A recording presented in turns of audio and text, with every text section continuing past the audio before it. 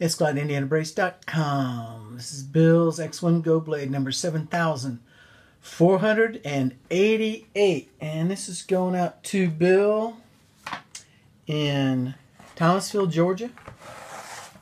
Bill's got Hallux Rigidus and he plays tennis and he's going to work in this.